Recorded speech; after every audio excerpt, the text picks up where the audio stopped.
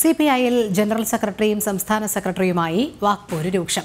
അച്ചടക്കത്തിന്റെ വടികാട്ടി ഇരുത്താൻ ശ്രമിക്കുന്ന ദേശീയ secretary D രാജയെ പരിഹസിച്ചു തള്ളുകയാണ് കാനം രാജേന്ദ്രൻ.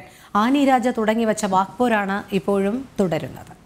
ദേശീയ എക്സിക്യൂട്ടീവ് കമ്മിറ്റി അംഗമായ ആനി രാജയുടെ കേരള പോലീസിനെതിരായ പരാമർശത്തെ പിന്തുണച്ചതു മുതലാണ് ദേശീയ ജനറൽ സെക്രട്ടറി ഡി രാജയും സംസ്ഥാന സെക്രട്ടറി കാനം രാജേന്ദ്രനും തമ്മിൽ വാക്പോര് തുടങ്ങിയത്.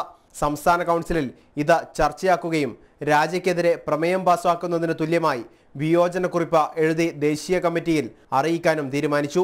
കഴിഞ്ഞ ദിവസം ചേർന്ന ദേശീയ കൗൺസിലും ഇരു നേതാക്കളും തമ്മിൽ അഭിപ്രായ വ്യത്യാസമുണ്ടായി. ആരായാലും പാർട്ടി അച്ചടക്കം പാലിക്കണമെന്നും ഇല്ലെങ്കിൽ നടപടിയുണ്ടാവുമെന്നുമായിരുന്നു രാജയുടെ കാനത്തിനെതിരായ പരാമർശം. എന്നാൽ ചട്ടങ്ങളെക്കുറിച്ച് തനിക്കറിയാമെന്ന മറുപടിയാണ് കാനം നൽകിയത്.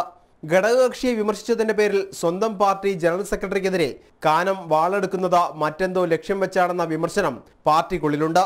രാജയ്ക്കെതിരായ സംസ്ഥാന കമ്മിറ്റിയുടെ വിയോജിപ്പ് അറിയിക്കാൻ ചുമതലപ്പെടുത്തിയ ബിനോയ് വിശ്വം പിന്നീട് രാജയ്ക്കൊപ്പം നിന്നതോടെ ദേശീയ തലത്തിൽ കാനം ഒറ്റപ്പെടുകയാണ്.